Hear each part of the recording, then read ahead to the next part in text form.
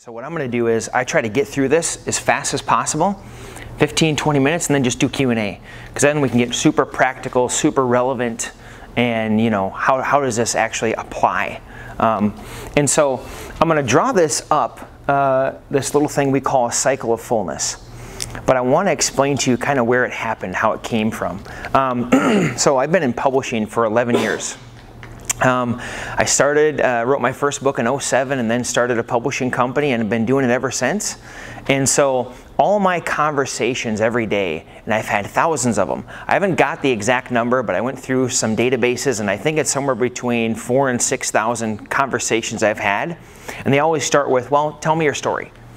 And I've had those conversations with people in over 20 countries over the last 11 years, different ages, different backgrounds, different stages of life. And as people were growing and developing and, and going through life, intentionally or unintentionally, I started to notice some patterns.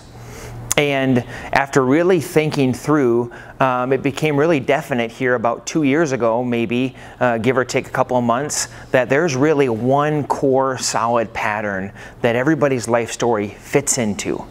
And it was really fascinating. And how it happened was my wife came into our business. So uh, my wife and I run our business, and she came in, and when she started, she goes, You know, you meet somebody and then you go into a room for a couple of hours and out comes this book outline. And she's like how does this happen? I need to know what goes on in your head. And i was like well good luck with that. Um, but what we ended up doing is i had my whole team together. It was about this many people.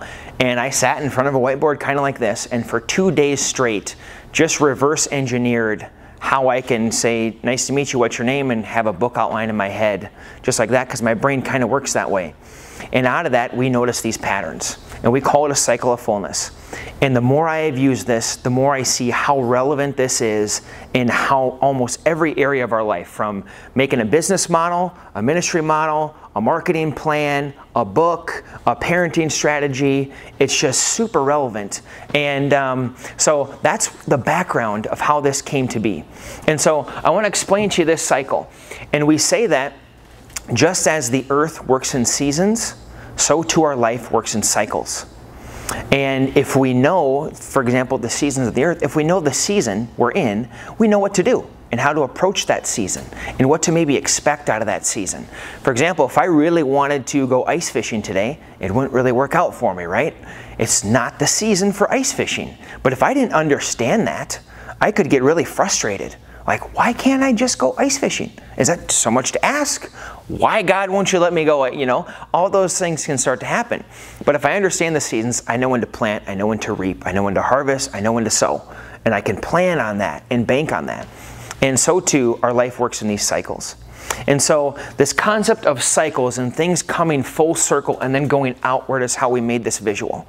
Um, and I'll, I'll say this these cycles are so uh, eminent. And even when you're planning talking about seeds or when you're talking about businesses or when you go all the way back to genesis. So for example it says in, in genesis on day one god did this day two he did this and there's this crescendo of creation right? And if you look at it it's like the perfect crescendo. Like he couldn't have made animals until he had first made plants. Otherwise he'd have been like here's these animals. Oh, shoot. Well, let's wipe those out and start over again. He, and it says in, in Genesis, he planted the plants. And so that was interesting to me, is he didn't just go poof. There was a process there if he planted them. And so if you look, the Hebrew word for day in that in Genesis is a yom. And a yom is essentially a full cycle of something. So he made plants they're ready to be harvested, they're ready to eat. Now he can make animals. And eventually, Adam and then Eve, the, the crescendo there. And uh, another example that is in the New Testament to describe the time period that the Israelites were wandering through the wilderness, that 40 year time period, Paul uses a yom. And so you see that evident when the last person of that generation had to die off, even Moses himself, and then they could go through the next part. So our life works in these cycles.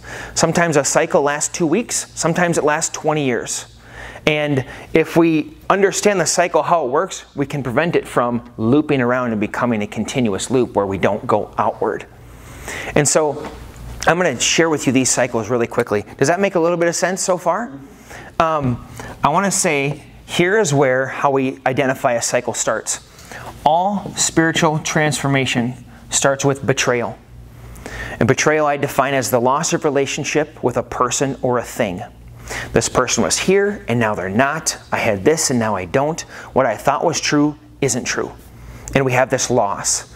You see this evident in Jesus at the Last Supper, right? They're hanging out. Jesus is, I'm paraphrasing obviously. Jesus says, Listen, guys, somebody's going to betray me. Everybody's shocked. And then he goes, he takes the bread, he dips it, and he says, Whoever eats this bread is going to betray me. And then he literally feeds it to Judas, right? And says, Okay, man, go do your thing. Like he's that was the betrayal that kicked off the path to the cross.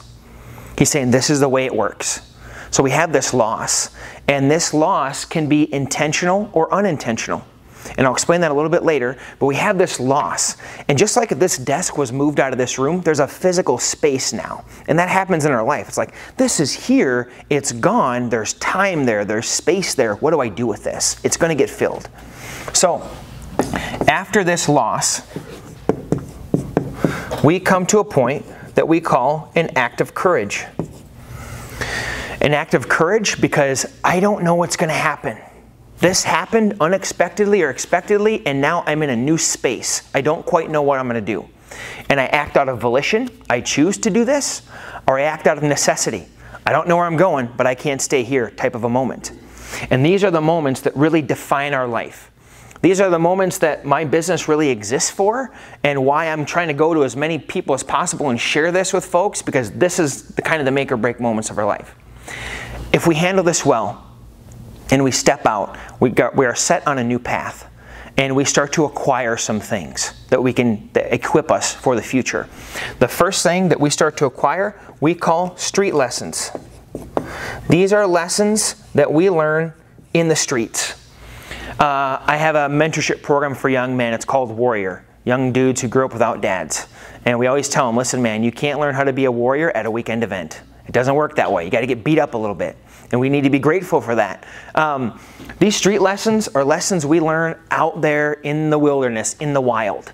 It's the same wisdom that's always been, but it's unique to us now. We have a new way to kind of explain this, a new perspective on it. And it's just like when you go to a conference and you hear the same speakers essentially say the same thing in 15 different ways, and the last one comes up and you say, I haven't ever heard that before. But the 14 before said it. You've got a new way to explain this street lessons, and they're unique to you. I always tell people, I've seen this over and over and over. We've done, walked people through this cycle now from all over the country and three different other countries around the world, and there's always things that you think that you know.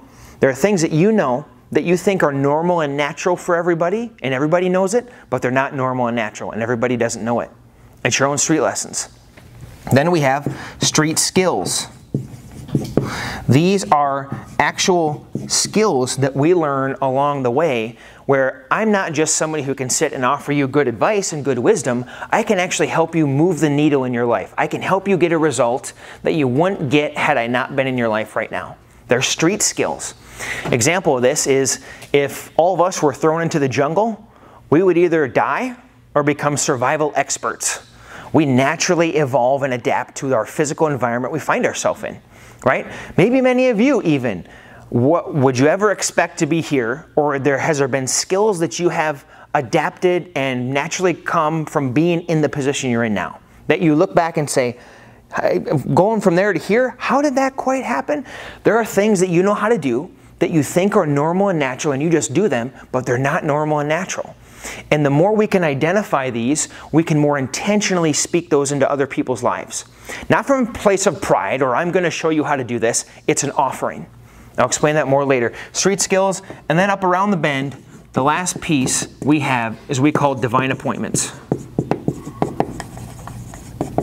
This is simply the right person at the right time with the right word. And we don't often realize it in the moment, but as we look back, we say, had I not run into that person, I don't quite know what I would have done. Those are people that pour into us. Then there's also people that we pour into. We say, you know what? This person or this people group, I don't know why, but I want to help them. They're a, a burden for me, even. But I, I, it's like God gave me a love for these people that I did not give for myself, and I'm different around them. I want to help them. There's the where some anointing comes in, some calling that we can help people identify. Because I really believe God doesn't call us to do a thing, He calls us to a people. And the people determine what we do based on the needs they have. What do they need? That's what we do.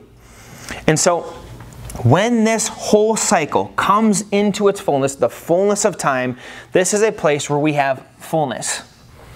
I describe fullness as uh, an internal state where we feel like we lack nothing. Whatever happens, we can handle it. Come what will, we're good. We don't have all the resources, it doesn't mean that. It's an internal state, it's not an external state. Whatever happens, I can handle it. And we can move forward with that. It's like a living, breathing, walking Psalm 23 internalized. That's what fullness is. And when I'm in my fullness, my life can be an offering to people. Because check it out fullness comes in three different ways the fullness of an experience, the fullness of a skill set, and the fullness of the Spirit. And the fullness of an experience is I went through this, I've walked through it, I'm on the other side now, I survived, I've looked back, I've gathered the wisdom, and I can offer it to you.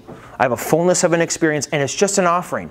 I'm not harping on you, trying to get you to do this. If you accept it or reject it, I'm okay with that. It's an open handed offering to you. Fullness of a skill set is in all of this, I learned how to do some things that are unique. They're natural to me, but they're unique to other people, and I can help you move the needle in your life with that.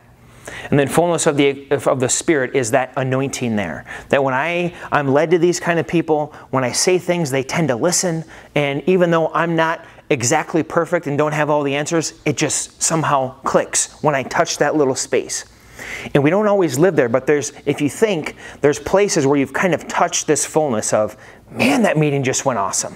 I, I wasn't worried, I wasn't fearful, or anything like that. And you know what? They didn't even do it, or maybe they did, but I was kind of in the zone in that meeting. We have those kind of spots where we touch this area of fullness. This is what we're all after in one way or another. If you look at the marketing of any great company, they market to fullness. For example, Apple isn't, when they started, it wasn't just we have the best technology, it was think differently. That was their thing. There was their fullness for their people. Ford F 150, if you want to be a man, you're rugged, man, get this F 150 quad cab. You can get dirty and muddy, and then there's dudes who buy it in the city and they never even use it, right? It's fullness. Be a man. And then uh, Dove soap. It's not all the things we have that makes our soap better. We just pick this otter up out of an oil patch and we cleaned him up, and now the otter's frolicking through the little this pond over here, right? It's fullness. What we're all after, what we all want, every company markets to it. And as we can identify this in our own life, our, when we live in fullness for ourselves, we can help other people get into it for their own. Um, and that's the concept that we call cycle of fullness.